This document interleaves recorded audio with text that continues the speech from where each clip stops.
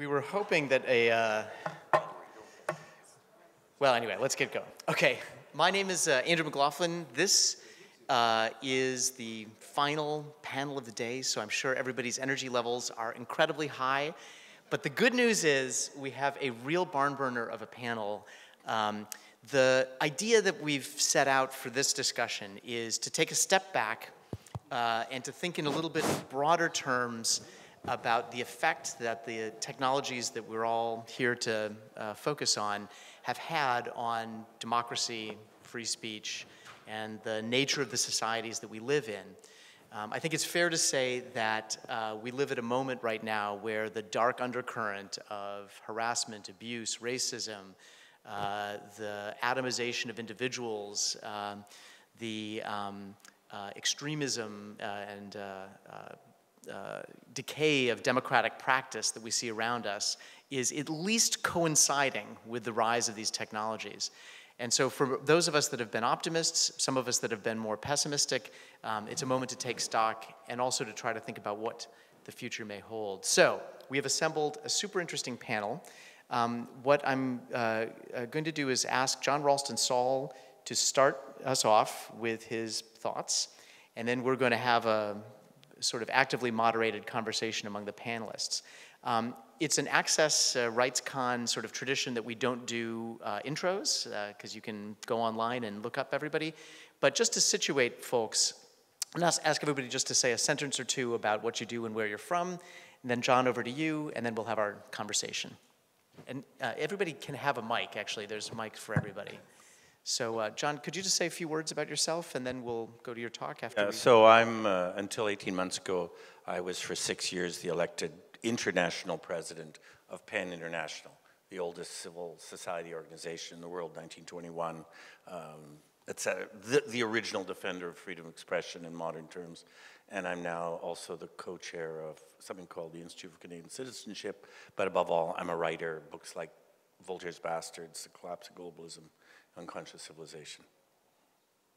I'm Paul Nemitz. Uh, I'm uh, in the European Commission, the Director for Fundamental Rights, so civil liberties and uh, rule of law, citizenship, democracy issues. And uh, I'm also a visiting professor of law at the College of Europe. That's my background. My name is Mariam Khawaja. Um, I'm the Special Advisor on Advocacy for the Gulf Center for Human Rights, um, and obviously the only woman on this panel.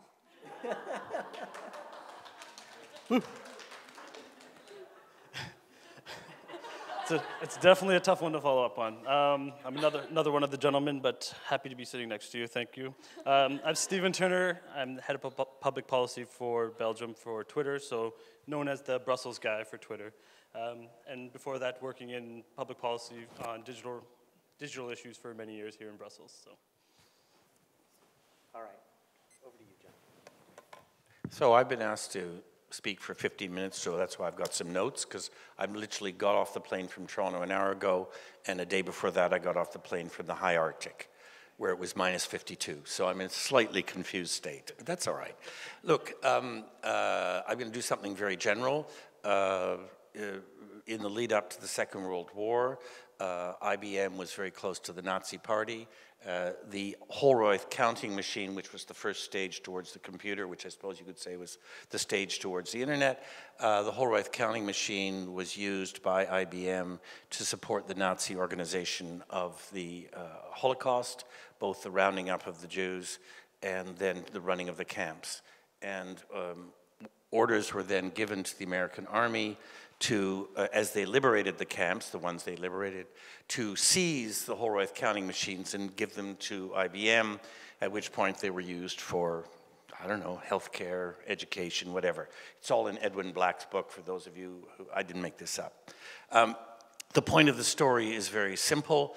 Uh, technology has absolutely no ethical content. It has absolutely no purpose of its own.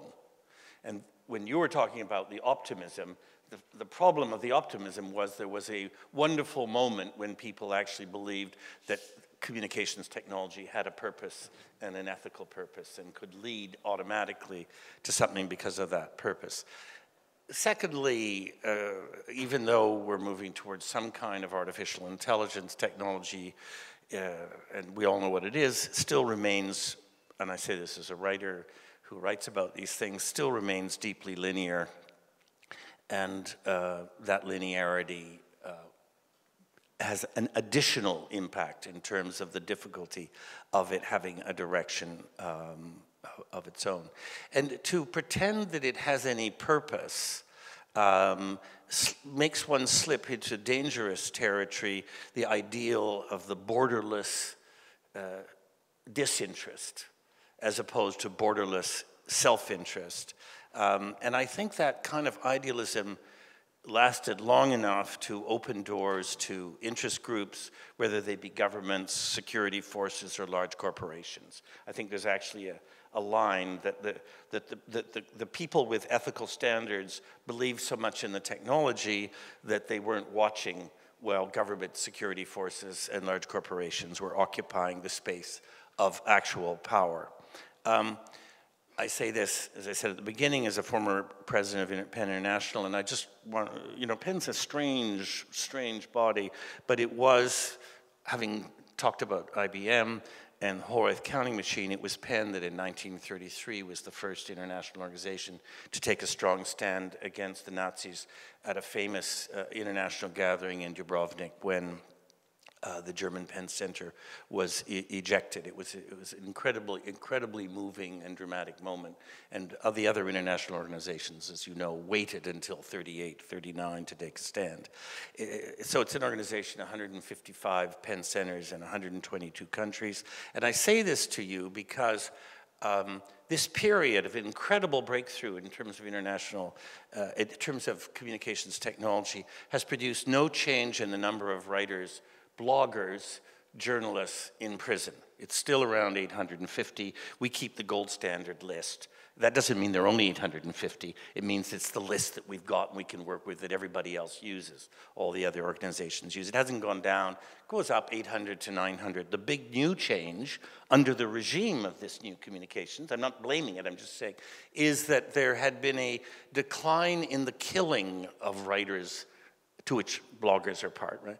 Um, uh, and that in the last 10 years, the killing of writers is just taking off like mad. So somewhere between over 200 writers are killed every year now, which was not the case if you went back. They, used to be put in prison, there'd be false trials, but it's much easier and faster just to kill them. Um, and you don't have long discussions about it. Uh, the other thing that's interesting is that there's no relationship between the sophistication of the society and the sophistication of the use of the technology, communications technology. So a place like Ethiopia, 90, 90 million people, poverty stricken, has one of the most sophisticated uh, security control systems uh, in the world. Depends on where you put your money. Um, so ethics, comes not from technology, it comes from people, it comes from citizens. Uh, they may be organized nationally. If they're not organized nationally, it's pretty hard to organize it regionally or internationally. And again, what you're seeing today is how much uh, uh, uh the new technology people abandoned the national fight and left a vacuum which has been occupied by the people you know, and I'm not just talking about the United States. I mean, let's remember that, for example, the interjection of security forces in the United States into the last presidential election at a key moment was preceded two elections ago by a similar event in Canada. And it is interesting, even though I detest the, the, the right-wing candidate, not the extreme right-wing candidate, the right-wing candidate in France, it is interesting that the legal slash security system has chosen exactly the moment of the election to intervene, on whose behalf we don't even uh, know. So this is uh, uh, this, this, this idea of winning the national battle for ethics as applied to communications technology is absolutely essential because people actually live somewhere. Most people live somewhere. You and I belong to a tiny minority who move around. And I would argue that statistically speaking, fewer people are moving seriously around the world today than during the height of the European empires in the late 19th, early 20th century. I've done some numbers, there are no serious numbers, but I would think that numbers today are much, much less than they were under the British, French, um, uh, Dutch, etc. empires. So what do we need? We need extremely clear laws linked to an ethical base. Uh, there are things like the PEN Declaration on Digital Freedom, which is a minimal attempt at something which is quite interesting if you want to look at it. Look at it. But my point is that these laws can be enforced. Uh, they're, they're, the argument that the technology of communications is going so fast they can't be enforced is simply not true. Um, there was a moment during which people said because of new technology you can't regulate the money markets anymore. They suddenly discovered that it had never been easier to regulate the money markets at the national, regional, and international level because of the technology.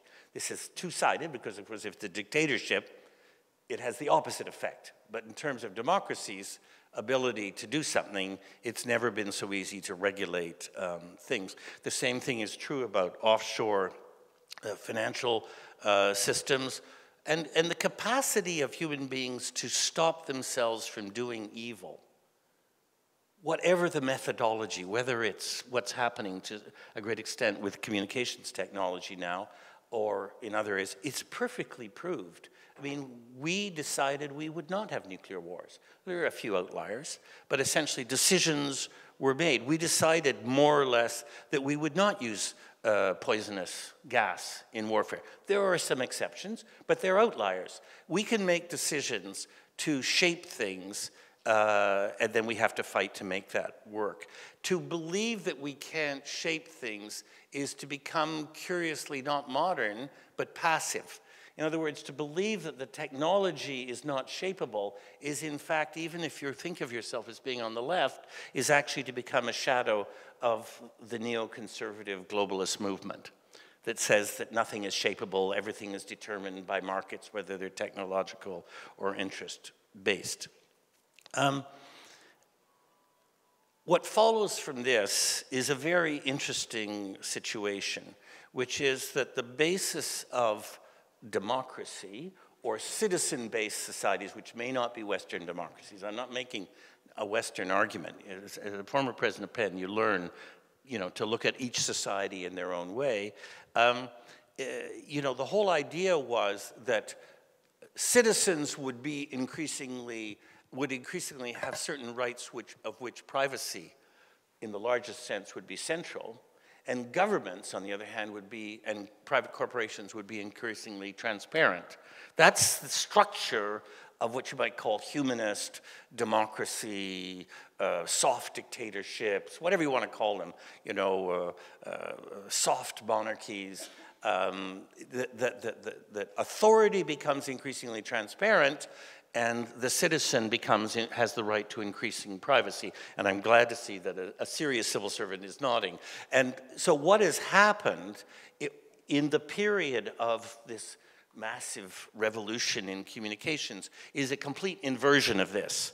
That government, private corporations, and security have never had such an ability to go into the private lives of citizens and make private citizens' lives transparent to them. And on the other hand, governments and private corporations and security have probably in the modern era never been so secret.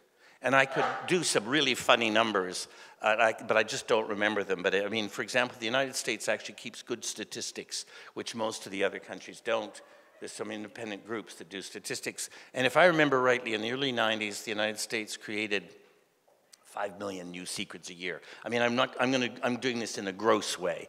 About 5 million new secrets a year, which is really a joke, right? I mean, what could they possibly be? Since we could go out and build a nuclear bomb, what are 5 million secrets? It's power grabbing by people. That's all it is. It's a way of grabbing power. Today, the United States, I believe the number is creates 52 million new secrets every year. It's an astonishing situation, which we've never seen anything like this. And it's, you can, how can you talk about a democracy functioning if the government creates 52 million secrets a year because that means you can't make anything function. In a sense, you're seeing just the, the outer layers of the dysfunctionality of democracies today and the inability of democracies to go uh, uh, on big ideas because everything's blocked at lower levels because of this rise in the use of uh, secrecy. And all of this is intentional. This is done on purpose. And, and, and the recent leaks, which one you know, could discuss, the big leak systems, I think are a perfectly natural outcome, whether you like it or not, of this inverting of who's transparent and who's opaque and who's secret. Um, so let me just finish uh, by saying that what I think what a lot of this has done is draw people more and more into an obsession with the details of the technology and of the information. It's not very original what I'm saying. And, and this, is, this society, this society, uh, certainly in terms of humanism, is, is in the last hundred years the society which is the most passive and the least able to actually think about big ideas and how to change things for the better. There were enormous changes made in the late 19th century many of them for the better. Enormous changes made in the late 30s through to about 1960, many of them for the better. And for the last 40 years, society in terms of humanism has been blocked, and those of us who are humanists and believe in an ethical approach towards society have never have not been so weak and passive in terms of big changes big ideas uh, you could say the early uh, idea of the EU was, was one of the last big leaps. And what's happened to it is, in a way, uh, this good. But what, a lot of the negative of what's happened is part of this breaking down of the big idea. So, uh, and tied to all of that has been uh, I take a, a two small details. One of them is, uh, you know, that every time I use the internet as a research tool, I'm a writer, uh, the internet edits who I am and what I want and gives me back information which is increasingly chosen by the invisible machinery.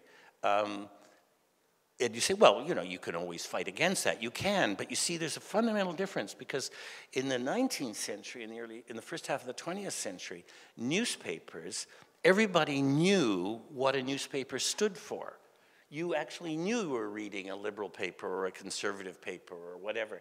Whereas a lot of people, and that's what we're seeing today, actually believe that they have access to an international system which is in some way neutral and that they're getting neutral information, whereas in fact they're getting information which is as edited as reading a liberal or conservative or right wing or racist paper in the 1930s. But they don't, most people don't actually realize that. Um, and then a second tiny little story, you know, the Charlie Hebdo, which of course PEN was, you know, very complex to deal with. But one of the things that was never said during the Charlie Hebdo uh, debates after the murders was this incredible contradiction, which was that humor is a very particular human characteristic and it is deeply provincial. It's often a part of a city, or it's a city, it's Chicago, or it's East End of London. And you go to the West End of London and people say, well, was that funny? Right? So humor is regional, it's provincial, it might be national, but suddenly because of the technology, it's also international. And, and so I'm not making any judgments. I'm just saying that you have to, these kind of contradictions are really, really interesting when you're trying to think about what's happening. Where are we going? How do we deal with this stuff? I'm not saying, uh, uh, of course, we stood up against the murders 100%, but there, there's that contradiction of there is local culture, there is national culture, and it's totally different from other cultures. So, all of that to say, I think we're in the early days of a reawakening of the reality that this is a political battle in which people who believe in democracy or humanism or uh, uh, empathy are going to have to throw themselves very sharply into a battle to shape technology the way we shaped nuclear weapons or other pieces of technology to ensure that they are not used to destroy the well-being of uh, citizens. That doesn't mean a limitation of freedom of expression. It means trying to reestablish that old balance, which is now in totally inverted imbalance of who gets the transparency and who gets the privacy. Thanks. Wow.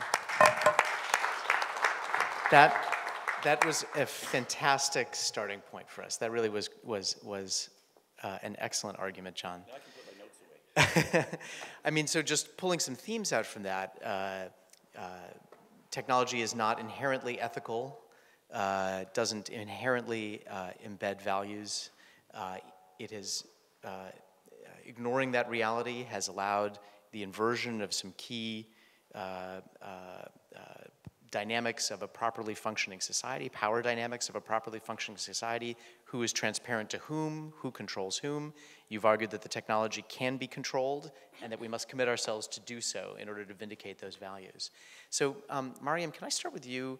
Do you, do you, do you accept those principles? In other words, you're um, an expert in uh, the dark side of this technology as much as anybody in this room. You train people on digital security, among other things. Um, uh, is that the way the technology feels to you? It's not inherently good or bad, or maybe it is inherently bad or inherently good? Um, I think that you know it's difficult to say that anything is black or white. You know, when we're looking at the different forms of technology that we have these days and what it's being used for, whether it's being used by civil society or governments, it can be used for both good and bad.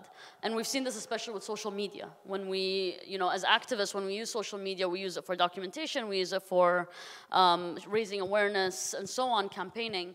But we've also seen how governments can use social media to harass, to defame, and to target people. So there's always a you know pro and con to any tool that's out there. Um, so I don't think we can say that anything is inherently good or inherently bad. I think that one of the things that we really need to address is the gap that exists between the tech community and the human rights community. And I think that that's one of the spaces that's lacking where we're seeing it being more bridged now, um, but it hasn't been for a long time. And I think that you know the tech community does a great job in trying to think of what does the human rights community need and trying to develop those tools for the human rights community. But unfortunately, there isn't that direct conversation or dialogue between the tech community and the human rights community for the tech community to actually understand the needs of the people on the ground, the grassroots activists. And I think that that's one of the main things that's, that's missing. But if I can also just respond to two of the points that, you know, that were made. Um, one of them is, you know, the, there's a there's a huge problem with the double standards of freedom of expression when we're talking about freedom of expression. And I love that you brought up the, the example of Charlie Hebdo, because that's something that's been brought up time and time again in the conversation about where, where do you, do you put limits on freedom of expression, and if you do, where do you put those limits, right? And the question is, you know, when you look at Charlie Hebdo, for example, um, when someone drew a caricature of the same cover that Charlie Hebdo had of the Muslim Brotherhood with bullets going through the Quran, hitting them, after more than 800 people had been massacred in Egypt, um, someone drew that same caricature after the Charlie Hebdo shooting, picturing a Charlie Hebdo cartoonist holding up the Charlie Hebdo magazine with bullets going through and saying, Your magazine won't protect you. Now, that person was arrested. And yet, Charlie Hebdo, what they did was seen as freedom of expression. Arrested by whom? By the French authorities. And so I think that there's a huge question mark about who does freedom of expression work for? And why is it that it works for some people and not others? Why is it that when we look at freedom of expression in spaces like Charlie Hebdo or even on online expression, we don't take the context into consideration. When we have publications like Charlie Hebdo that targets a minority that's already under attack, not just in France, but around Europe, we need to look at whether that actually incites violence, whether that actually incites hatred against those minority groups. And so I think those questions need to be asked. And then the last point I'm going to make again uh, as well is, you know, we're talking about the, you were talking about the issue of fighting for democracy, about the people who need to like rise up and fight demo for democracy. And I think the main question in that again is democracy for whom? Because we see time and time again, if you're a citizen of Europe, there are different levels of citizenry, right? I'm a European citizen, um, but I'm also Muslim, I'm also a woman, um, and I'm also a person of color, which means that I don't belong in the same field of citizenry as a white Dane does in Europe. And it also means that my access to certain spaces is more limited than other Europeans who don't look like me.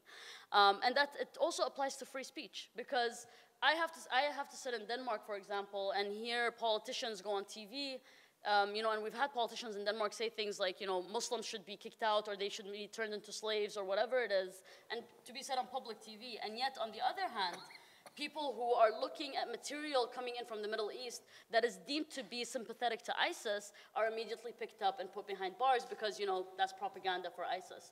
Now, I'm not saying that one should be limited or the other should not be limited. I'm saying that there needs to be a real discussion about who these democracies work for and, what, and where we need to fight and you know, talk about where these exceptions are made And how do we go about making sure that democracy works for all of us, whether we're citizens or refugees or immigrants? Let me, um, let me pull a little bit on your first point, the first of those two that you called out. So, um, uh, the Charlie Hebdo case and the, the, the, the questions about um, the sort of uh, the power dynamics around what we call freedom of expression, right? The way in which power relationships can be embedded and give expression uh, and given expression um, on the internet. So, so uh, for a good long chunk of my life, um, my model of the internet was that it was inherently good and inherently positive because it placed the power to speak globally into the hands of everybody. That was what I thought. And I defended, I spent years at Google endlessly defending the idea of non responsibility, that the platform itself, because it allowed people to speak, was fundamentally a good thing and that our job was to defend it against censors. So all the threat model was governments like China will try to censor speech, and so we must defend the platform and trust in the marketplace of ideas uh, to, um, uh, to sort out truth. Um, and I have to say that I have reconsidered that point of view in the last couple of years. I don't have the same feeling about it anymore. I'm tired of rich companies claiming that they have no responsibility for what goes on. So, Stephen, you work for a rich company um, that embodies a very pure view of freedom of expression and, um, and one that in many ways I admire. Nevertheless, it's become absolutely clear, I think, that Twitter is a place where uh, harassment thrives, uh, where hate speech finds a home, where communities of racism uh, uh, uh find purchase. And so, um, uh, can you defend that point of view at this point, or do you have a more a, a, a, view that was more nuanced than the one I used to have back in the day? Well, thank you. Um, thank you for the discussion so far. I think we have so many interesting topics, and I'll try to be succinct in my answers. This is a very, when we, when we start to look at freedom of expression, especially the evolution of technology itself and the way we interact, like I see the power of Twitter as being this live, this public, and this conversational platform where you can engage, where it's instantaneous. You go there and you, you instantly see and receive what's happening literally. But when we start looking at how do we evolve, how do we make that environment safer for, for our users, make it so that they are free and they feel free to speak. I think that's some of the issues that we're addressing now, and you see a lot of the changes on the platform start to start to show and start to lean towards how do we make the user feel more empowered to speak, to feel empowered, to feel that their voice will not be damaged or they will not be harassed in a certain way. And I think that is obviously a nuanced approach, and that can, these kind of policies are not done in in, a, in an echo chamber, and it's not done in a vacuum. And I think this is where we rely a lot on our engagement with civil society and with our engagement with other stakeholders. And we have global networks where we bring together uh, thought leaders to try to have these discussions. How do, we, how do we reach the right balance, touch the right chords where we can continue to provide the service that, and stay true to the, the freedoms and the ideals that we were based upon? This comes back to, I think, a lot of the points that have been made about technology inherently good or evil.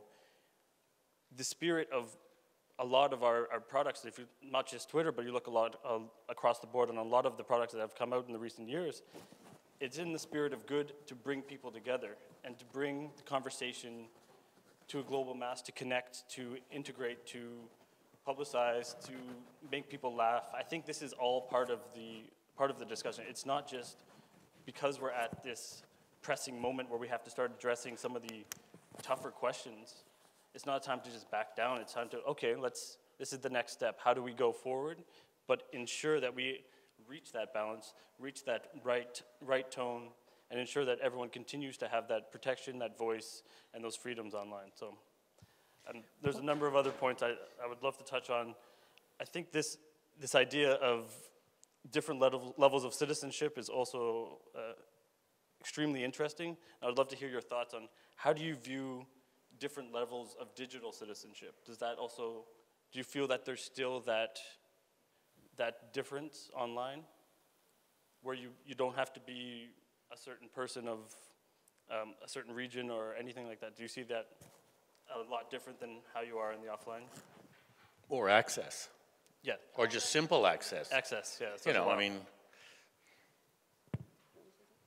Sorry to take the moderator role a bit. Yeah, I mean, I Let's was go. You, you definitely you definitely managed to change the subject from me really pushing you on uh, Twitter's ethical responsibility. But we are going to come back to that. But Mariam, I think let's Yeah, take it in that direction. Yeah, I think that you know the issue of access has been one of the main topic points that's been you know on the table for some time now, whether online or offline. Um, and access to spaces, you know, it's interesting when you talk about the how the internet was seen as inherently a good thing and that it brought people together and it was a space where people could raise their voices. But if you look at the numbers of access, who actually has access to the internet? Who actually can go out and give their opinion? And who can do that without fear of being arrested or tortured and or killed um, when they do that? And I think that you'll see that there's um, a huge difference. I mean, I don't have the numbers. I don't know if any of you do. But um, from what I've seen and I've read in the past, the numbers of the people who are active on the internet usually are much lower in, you know, um, in the Middle East, in certain places, and certain countries around the world, right? Than we have, for example, in the West. And so there is an issue with access, access to the internet, but also act, uh, access to services and access to protection when you have access to those services.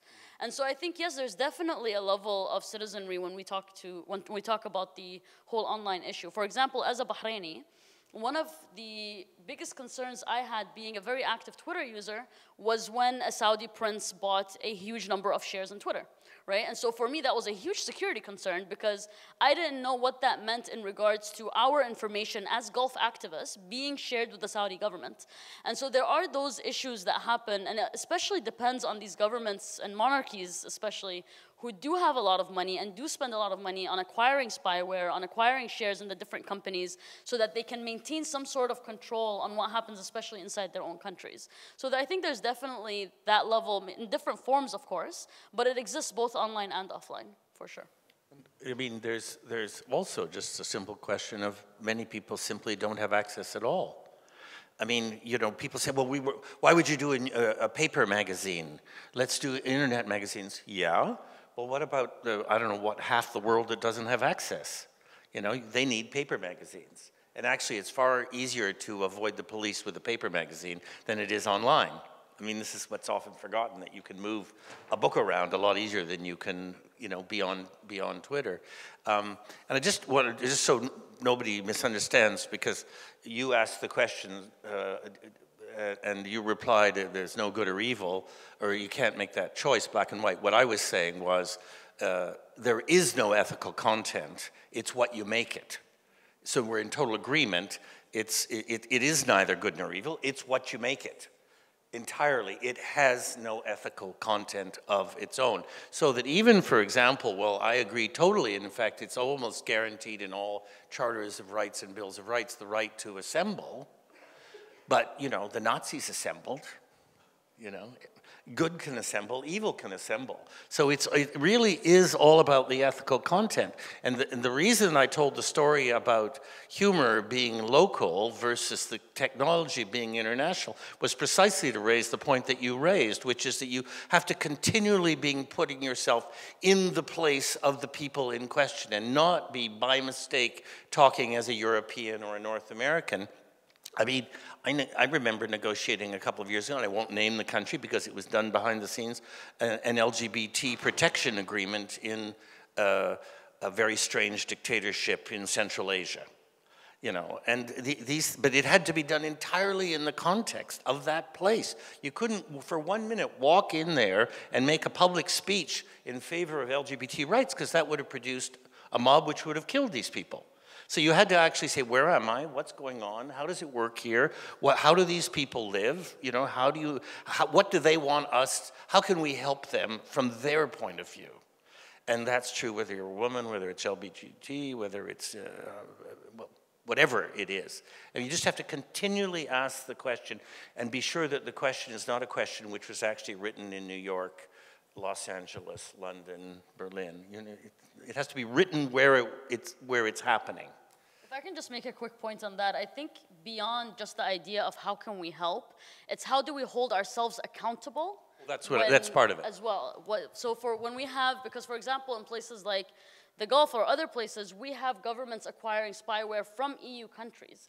And so I think the question should not just be how do we provide the tools to help people in those countries, but how do we hold EU companies accountable for selling spyware to those governments, even in places where people don't necessarily have huge access to the internet, but are using it to identify dissidents or activists for arrest, for torture, and so on.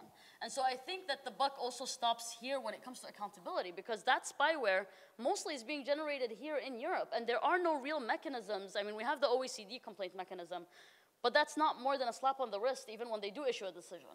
And so there needs to be some real accountability mechanisms that we can use here in Europe to hold companies accountable for selling that spyware that governments are using to go after people.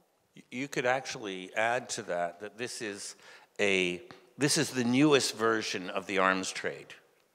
That you don't sell a machine, you, you do sell a machine gun, but you don't just sell a machine gun. You also sell this kind of equipment, which is in effect the equivalent of selling weaponry to be used against uh, people. And I just would add one thing to that, which is, you know, Interpol. I mean, Interpol is now structured in such a way that it can be used to, uh, by uh, countries to put the writers or activists they want up into the Interpol system as, as criminals and then try to use the international policing system to try to get them. I mean, all of this is not really being talked about in a serious way. We're assuming this stuff works. And in fact, it's increasingly being inverted. So let's, Paul, um, let's take the discussion to the kind of structural stuff. So, so Mariam and John have both identified an example uh, of you know, a failure of governmental policy, right? Like we permit surveillance systems to be sold to repressive regimes. Behind that is a democratic practice and a set of democratic institutions, ideally democratic anyway, that could make the right decision presumably they would make the right decision if they were functioning properly. Many ways, though, um, when we look around the politics of the, the West, anyway, and I think it's probably true to point to uh, other uh, uh, regions of the world in Latin America, in uh, uh, Africa, in South Asia, East Asia, and so forth, where um, extremes are, are empowered, uh, dialogue has taken a turn for the rancorous, um, and where we sort of feel the intensity of hatreds and sectional divisions and so forth much more than at least I feel like we used to.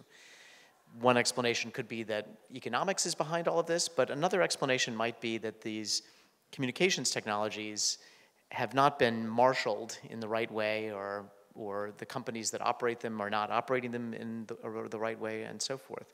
I'm curious what's your take on that. You, you, you have spent much time wrangling with the big technology companies. You have a window onto the democratic politics of Western Europe. What's your take?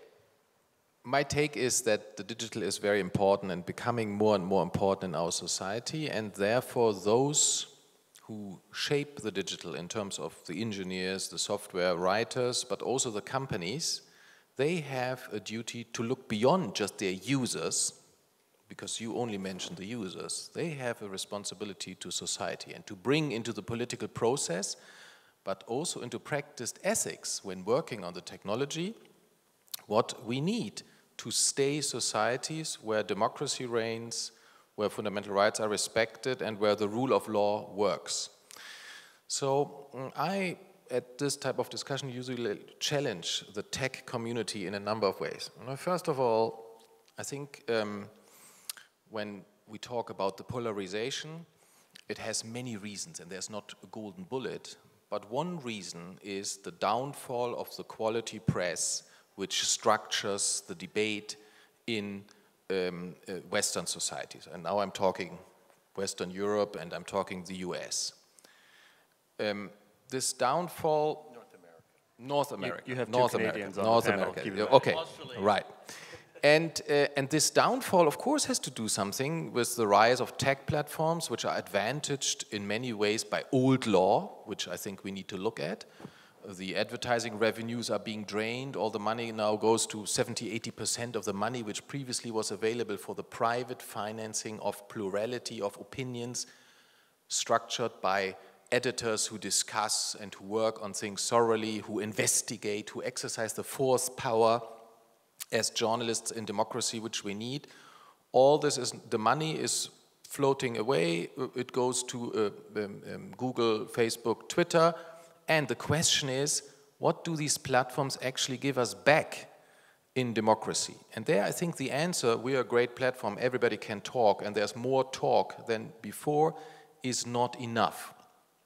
I would think um, in looking beyond users, we need a critique of technology as we had it always in our societies. The, uh, the environmental movement was a critique of technologies because it was too dirty, and today we need a critique of the internet and of the platforms, and we need to invest in this academically, and it must be the honor of everybody thinking about democracy, fundamental rights, and rule of law, and asking the question, cost benefit of these technologies and what do they actually bring us positively.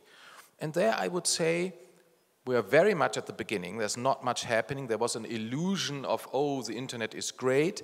But I would say the time of innocence of the internet is over because, yes, uh, there is a relationship between these platforms and the polarization in society, the echo chambers, the viral hate, the fake news. Of course, it's not all caused by the platforms, but the negativity and the powers which always existed in societies which were thinking like this, which wanted this, they are being empowered. Now they can go viral. Now they have a much broader spread. On the other side, let's ask also what's the positive contribution? For example, how much do digital technology actually bring people back into sustained engagement in democracy? The Arab Spring was a disappointment. It was a flash mob and finished. Occupy, flash mob and finished. So, you know, the initial optimism about the digital organization among activists being good for society, I have some doubt about it. And actually, you know, I am wondering about the empirics, whether people, empirics, about the reality of that people, you know, when they grow up in schools and so on, they learn on the internet this and that, they start engaging in dialogue, maybe on Twitter and so on. But will this lead them into sustained engagement in democracy?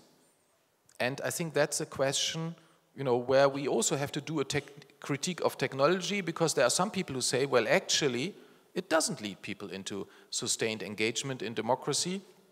It makes them only slacktivists. I like this word. You know, I'm not an English native speaker, but slacktivist being the people who think they are engaged, but they only press the like button. They don't pay membership dues, not to the NGO, not to a political party. They never go to a demonstration. They never meet with people in person and learn to self-organize in democracy. You know, they only sit before their screen and do this and that. So I think there are many ways in which we have to challenge the people who think that, you know, the technology is their thing and also the technology itself in terms of coming back to the big societal issues. And there I totally agree with what you said. You know, technology is great, but in the end, if we don't engage as technologists and also as the companies which drain the money from some essential functions which previously were function of democracy, if we don't engage in democracy positively, we will lose it and we will find ourselves in a situation which many of us will not like. So I'd like to I'd like to at least reserve some time to talk about what we could do. So I think let, us let, look forward. I I um uh, we could drill down into things that all of you said, but let's take a little bit of time and look forward. So let's assume that Paul uh, is correct that um, the technology has been disappointing from the perspective of democratic uh, practice. You know, this sort of strength and resilience of our democratic institutions and the participatory draw that they have on, on, on, on, on citizens and residents. So if that's true, like, and if we take John's point that these technologies are subject to our the imposed will of, of, of, of their architects and operators, what can we do? I think I'll just give one, one answer and then I'll be silent because I'm sure many others have good ideas. But I think everything which is happening on the internet is mediated.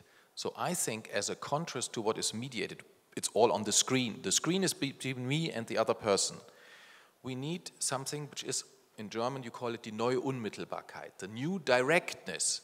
We must have people coming together again, like here today, and you know, try to agree on a resolution on which we vote together here in the room, and not only one day, but for years to work together politically, because that's what democracy is about. It's about sustained engagement and getting organized with other people. And my, my thesis is that Occupy and Arab Spring failed because technology created the illusion of getting something done together, but the human element of working sustained together and knowing each other was missing. So I think we have to relearn democracy, and we will probably have to accept that the, the internet and the technologies are not a golden bullet on democracy. On the contrary, they can be a risk. Okay. Mariam, was the Arab Spring uh, a flash mob? I've been waiting to answer. Um, first of all, I'm, I'm disappointed that you think it was a disappointment. Because if we think about it, the Arab Spring, first of all, was mischaracterized uh, in the West to be called the Arab Spring to begin with. The terminology that's used is incorrect, in my opinion, as being someone who's a part of the so-called Arab Spring. Because it wasn't all Arabs, first of all. We, we can't exclude the other people who were part of it. And I don't think that spring is the right terminology for it. It was revolutions for dignity. I think that's a much better characterization. The second thing is, is that it was also mischaracterized in the sense that also in the West, mainly by the press, was the idea that these revolutions were the revolutions of Twitter and Facebook and they were not. These were the revolutions of the youth. Twitter and Facebook were tools that were used by the youth for the revolutions. And I think whether they had those tools or not, they would have had other tools to, to go out on the streets and to demand their dignity back from their dictatorships. I think what we need to be asking is yes, I know the situation looks quite messy in the Middle East right now, but people are still struggling. I think it's amazingly admirable how people are still taking to the streets six years on after killings and torture and arrests, mass uh, clampdowns, and you know, mass surveillance and all of that, and especially at a time when the West has been enabling a lot of our dictatorships in the, in the, in the Middle East to survive and to continue doing what they're doing. And I think it's impressive that the Syrians, the minute that there is a weapon, you know, an agreement where they stop shooting each other, people still take to the streets and have peaceful protests against Bashar al-Assad to this day. And in Bahrain, we have to this day people protesting. And I think the thing that we forget, because we, we've gotten used to living in a fast paced age, that we expect everything to happen so fast. But if we ask ourselves, how long did Europe take until they got to democracy? How many revolutions did it take? How many people were killed? France had to go through a revolution and then a military dictatorship before they were able to ever get to a democracy. And how long did that take? Uh, so mul multiple it, dictatorships, multiple. Exactly. So why is it that we expect the Middle East to suddenly, you know, after six years, to suddenly be a flourishing democracy for everyone? That's not going to happen. I think that, you know, we need to give, um, and I think we need to stand, you know, in, in awe of the activists who continue day after day to take to the streets even now, despite everything that's happening. On the other point, on your other question, I think on what we can do, where do we go from here? You know, when we're talking about, you know, Twitter, Facebook, and so on, I think one of the important questions to ask moving forward is who regulates what constitutes freedom of speech and what doesn't? If we look at Facebook, for example, they have decided that the upper body of a woman is not allowed. You can't see that. But the upper body of a man is fine.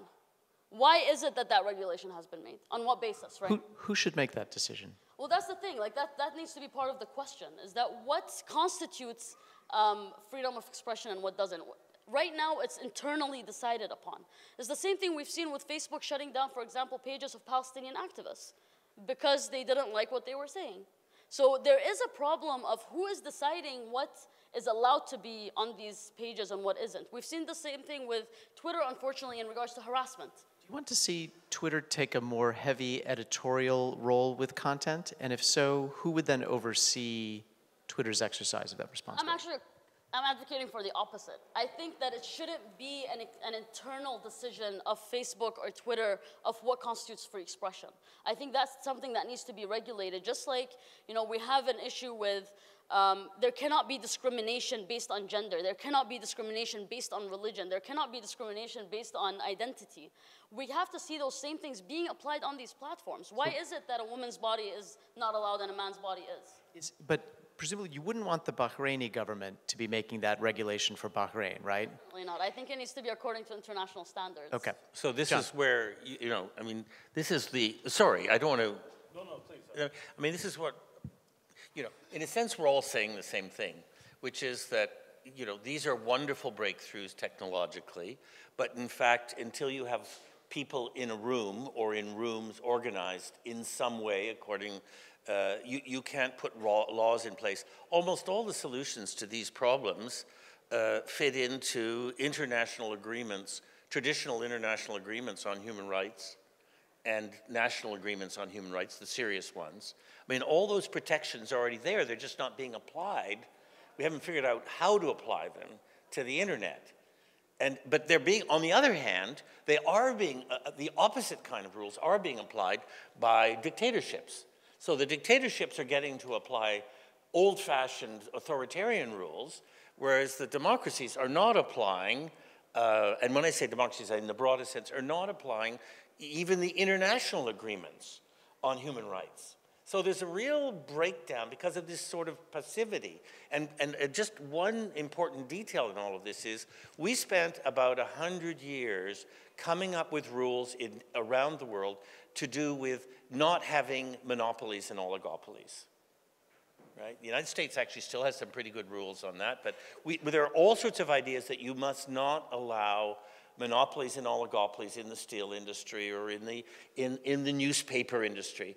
And one of the outcomes of globalization was that while nobody was noticing, because we were all talking about trade and fighting trade, that actually those rules were basically dropped. So the result is today that the newspapers are, you know, you go country by country and often internationally in very, very few hands. All the old rules of freedom of competing freedom of expression have been abandoned, and nobody's even thought about how it applies to the internet to get competing opinions in there. I mean, I'm a great user of Twitter. I actually think that one of the interesting things about Twitter is that if some if people believe have trust you, you can be like the editor in chief of your own newspaper. You know, if they trust you. So it's actually a very interesting tool. But we haven't actually worked out the serious issues of how this stuff um, fits into things we spent 100 years putting in place and fought a lot of wars to put in place. Uh, I, those wars led to deep, deep injustice, for example, in the Middle East, which we still have not come back to deal with those deep, deep injustices, and so we're still in the middle of it, and I think you explained it absolutely right. But, but we have to look very seriously at, at what are the basic ethical principles and how do they apply to the internet? Or how can they be applied to the internet? Stephen. Yes. Uh, again, now I'm getting so many issues Let, on one time. well, let, let, me just say, I, I used to be in your seat when I was at Google, and what we could do is we can call it like Schmitter and not actually talk about your company, but we could talk about Facebook or it's not a problem. some other platform. I just want to make sure I respond in the right way. I think I want to come back to maybe one of the points that John made initially around the ethics and the national um, national identity of ethics. And I think you touched upon this as well when, in your response right now. Is how do we how do we talk about freedom of expression after hundreds of years of developing it in our liberal societies? when we're still fighting a lot of wars and people are fighting and activists are fighting to understand their own freedom of expression, their own ideals, their own ethics on how to express themselves within their own societies. I think that plays into the global nature of how do we define or how do we define our approach to freedom of expression as a global company?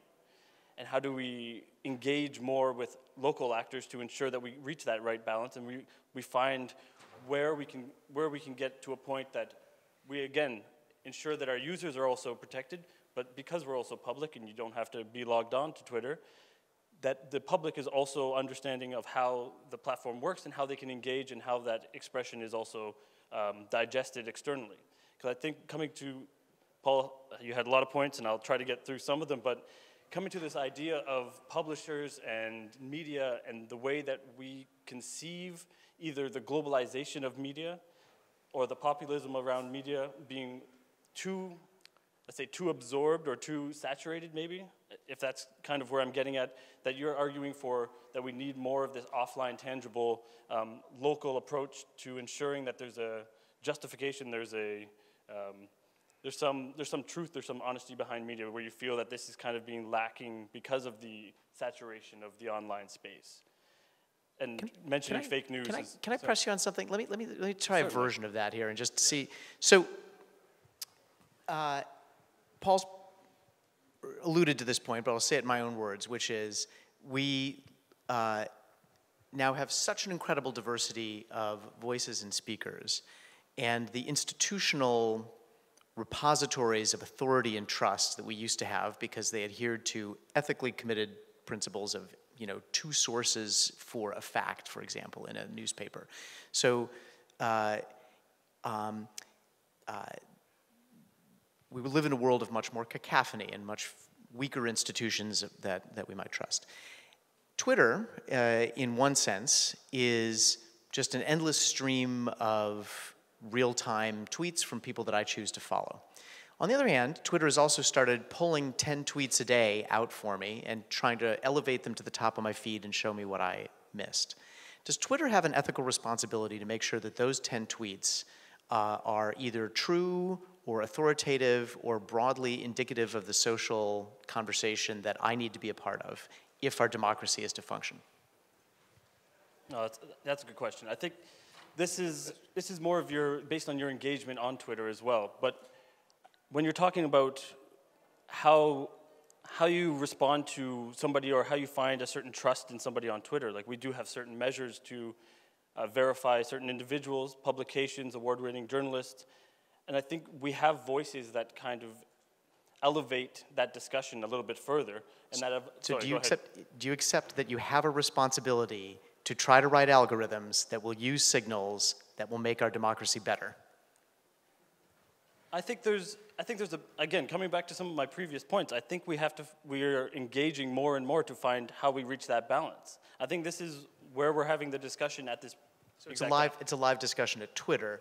It's a live Uh, discussion. Let me ask any of, the, any of the panelists, though, does Twitter, I mean, I don't mean to put you on the spot because I, I. No, used to say, that's a valid I used, to, I used to argue that Google's search algorithm was 100% mathematical and neutral, and it was just a function of the link structure of the internet and so forth. But it's clear that that's not true. Uh, In the, in, in, it's, it's clear that there are value judgments embedded in the math.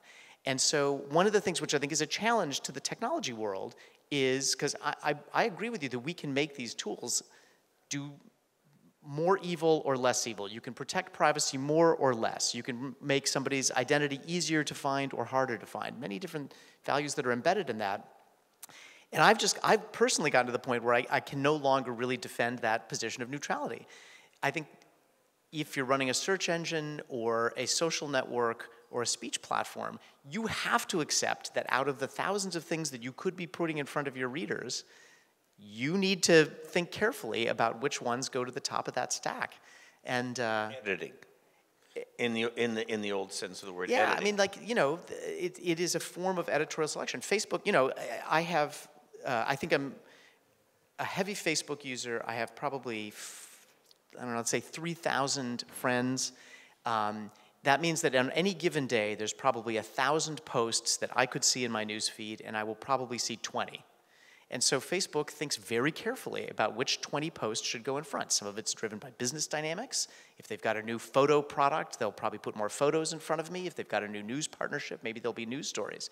One of those two things is more important for the health of democracy than the other. And, you know, absent a global governance mechanism, we are still stuck with companies that traverse national borders and have a headquarters in one country, staff in some number of countries, and so a regulatory solution is pretty far off. I say maybe when you know the uh, world of you know uh, multiplanetary governance and Star Trek like Federation of Planets exists. But in the meantime, these companies are on the front lines of making these uh, uh, decisions with ethical implications. I, I, think the two practical things. One is that the reality is those people who are making those decisions live somewhere. And I think it's really Miriam's point. You know, they live somewhere. And uh, they think they're making an editorial decision based on standards. It's the standards of their civilization. And they have to say that. So that if I want to read the New York Times in Europe, it says the New York Times in Europe. And I know what I'm reading. If I read Le Monde, I know what I'm reading.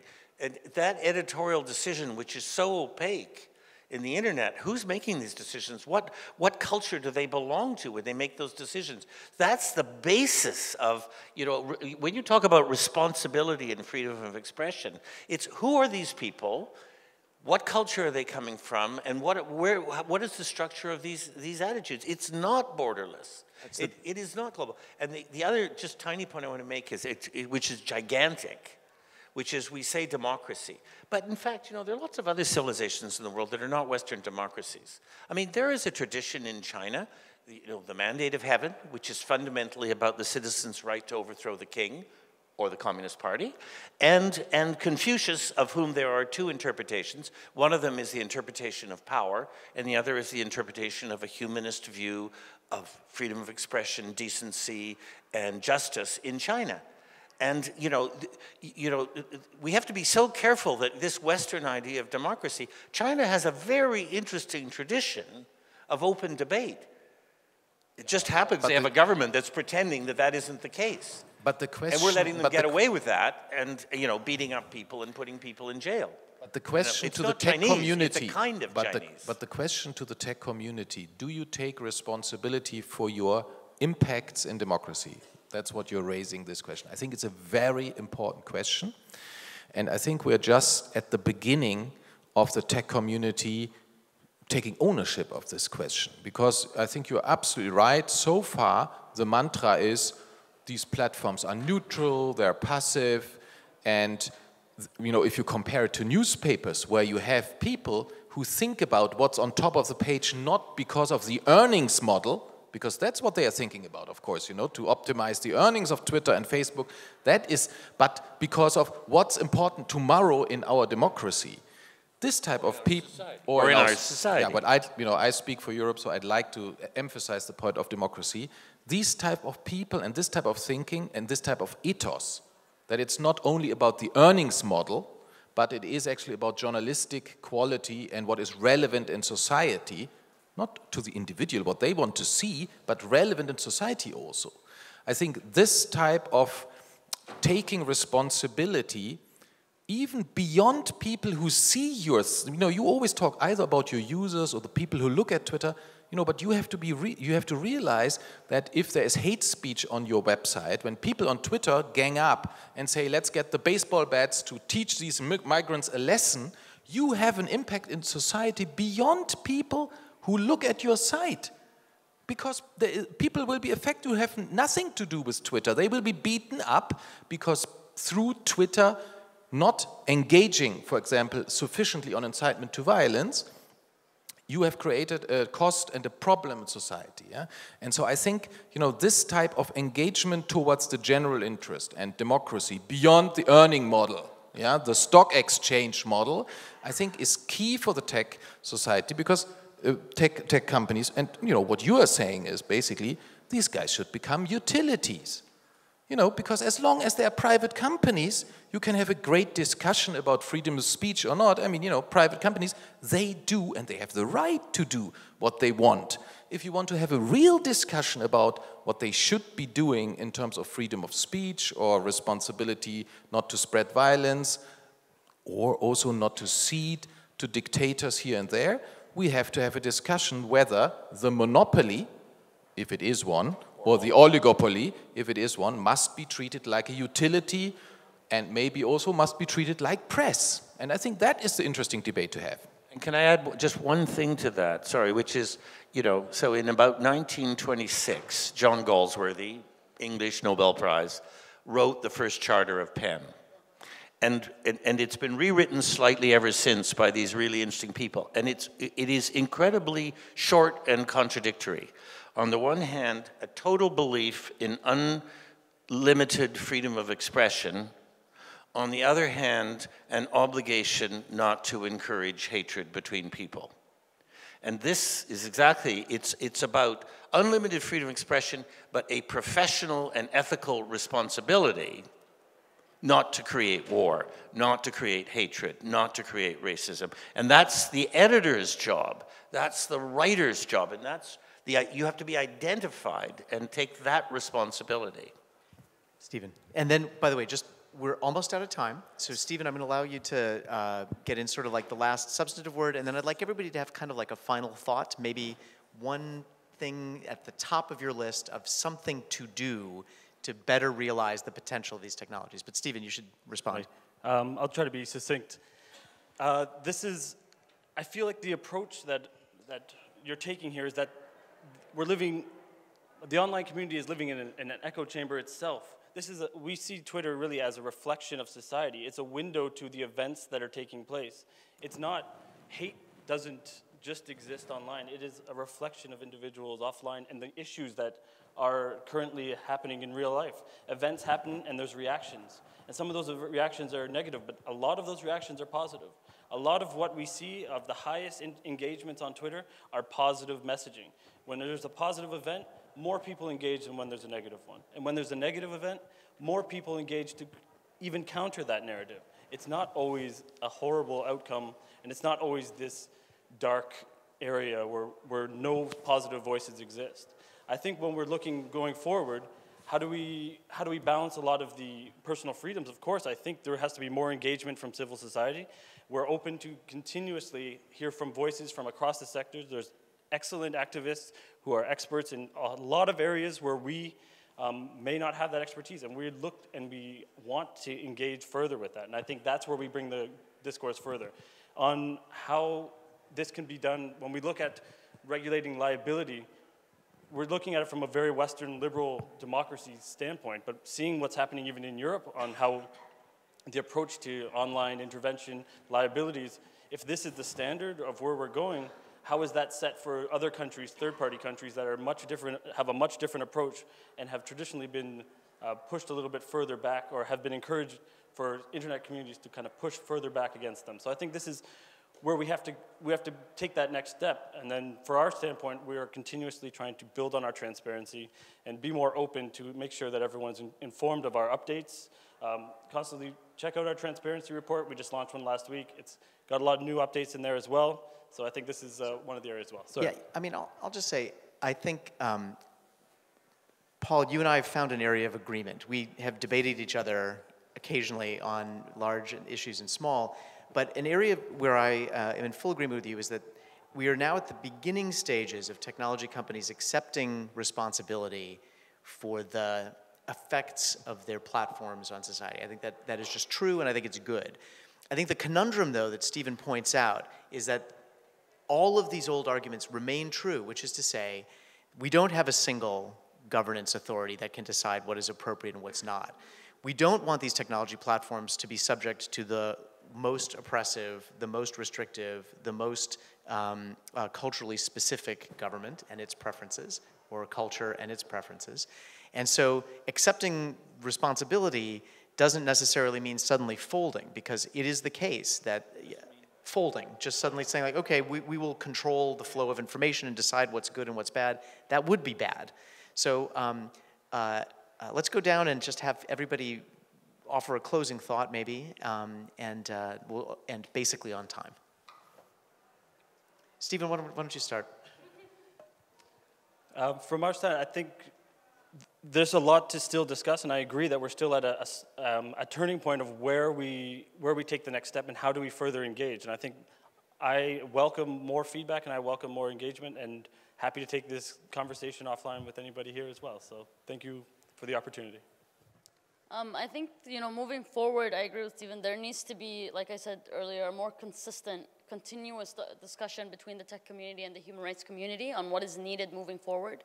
Um, I also think that we need to hold you know, when we talk about freedom of expression and tech companies and so on, we need to have higher standards than what we've set for everyday journalism right now, because I think that there is a problem with selectivity on what is, what is considered to be free expression and not, and who it relates to. So I think there needs to be an actual discussion on the ethics of journalism as we have it today, because there's a problem with it. Um, and moving forward. And then I think the third thing, even if it's really difficult right now, you know, you mentioned this earlier, it's really difficult right now to have a standard agreement on what is free expression or how that should be uh, within you know tech companies like whether it's social media or otherwise. I think one of the things that we can provide now is mechanisms for accountability and so when tech companies, for example, refuse to respond to harassment, when they refuse to respond to threats, when they are shutting people down because they don't like what they're saying, and so infringing on their right to free expression, and so on, there needs to be mechanisms for accountability. And I don't mean accountability in the sense of one individual going against a multi-million dollar company so that there's absolutely no chance that they can win, but mechanisms that actually work for the individual to protect individual rights when it comes to free expression as well. I think um, um, we need a differentiated debate. The challenges uh, which are posed for freedom of speech um, are completely different, whether we are talking about a situation in countries where you have dictatorships on the one hand, or uh, countries where you normally have a good level of freedom of speech, but you have specific issues like incitement to violence and so on. And I would say the argument that the internet must be one and we can only have one set of business rules and so on because it's most efficient for the stock exchange, I don't think it can prime over the argument that we here in Europe, we make our laws and Twitter, Google, Facebook, they have to comply with our laws, whatever it means for their earning models. And I am not convinced that it's a good argument to say, if you make a law on hate speech, then in Bahrain, China, and Turkey, they will also make laws on hate speech, but these laws will be abusive and they will suppress what really should be free speech. Because if one thinks this argument to the end, in the democracy, we can never make a law anymore. Because whatever law we make, this law will be taken by a dictatorship somewhere else in the world and they will make an abusive version of it. And so I think you know that is a little bit a too simplistic approach to try to put tech models, you know, the internet is one, our business model must be global, we cannot take account of the local and regional specificities over democracy. I think that goes a little bit too far.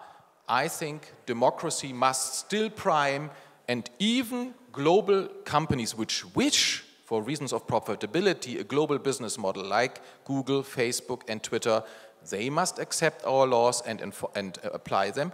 And if it means that for Europe they have to tweak things a little bit differently than for elsewhere in the world, that is right that they do it. And we will hold them to it. Because only this way we can actually respond to what you are saying to create accountability. Because accountability mechanisms, they are defined by laws which are normally still made in democracies. And that means national law must prime.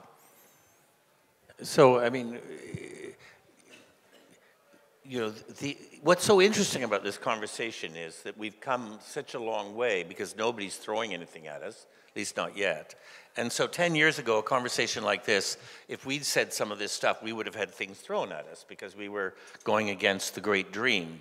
And we're just, I, I think people said, we're just in the very early stages of how to do this. And what you've just said is exactly right, which is that struggles for freedom of expression happen in different times, in different places, in different ways, unless you believe in a single model. And so there are, there are places where you can, you know, in Europe, you can apply certain things. You still have some problems, like Hungary, and, you know, right, some real problems. And, um, and you go through the, the Western democracies, you find real problems. But then other places are doing, are at a different place in terms of the fight. And that, and I think what you said about the time, you know, why, why should this have been done in three months? I mean, we haven't even fixed Sykes-Picot. right? So why would it be all fixed in three months? I mean, it's really, really complicated stuff. And that's why I raised the question of China. I mean, there are actually really interesting humanist options inside China. We're just playing along with a regime that pretends that those things never existed. And they say anything that's humanist is Western. That is a complete. I wrote, remember writing a letter to the president of China, which I'm sure he didn't read, but, uh, you know, pointing out that he was in betrayal of an enormous humanist tradition in China. So the, the last comment I want to make is, and what I really loved about this conversation is, it's the first time I've taken part in a conversation of internet people where everybody basically agreed that the way this will work is everybody will go back to a very old-fashioned thing, which is physical human beings taking a lot of time to make things work which is the exact opposite of what was said 10 years ago.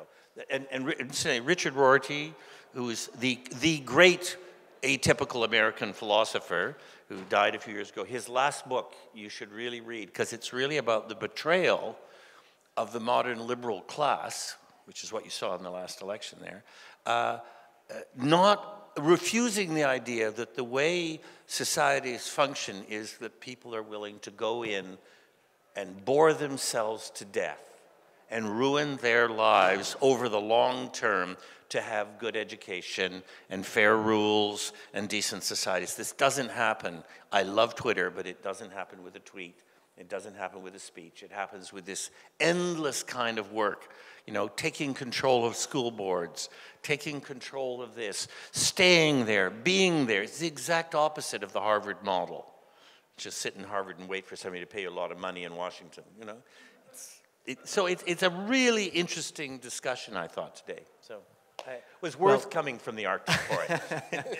so uh, thank you very much to the panelists. I'll just say my, in my, my, my, my, concluding thought is, Paul, I'm so glad you threw down another marker that I can argue with now, because great, I don't agree with you about whether all companies have to just do special things for Europe. And that's because I think American democracy is fundamentally broken. I think our institutions are not working well. They're not representative. I think the same is true in Europe. And I think that one of the crises of the West right now is that we have to fix democratic institutions so that when Europe does produce a decision, it's one that I would feel comfortable saying, yes, we will do it just because it's the product of a democratic system. Anyway, we have only That's barely begun to. And, well. and I'm totally with you on the how we're going to get there. It's not going to be people tweeting more and better stuff. It's going to be uh, a rejuvenation of democratic practice, which is fundamentally relationships of people who know each other. So on that note, thank you all for sticking around and staying past the uh, conclusion. Thank you very much to the panelists. On to the drinks.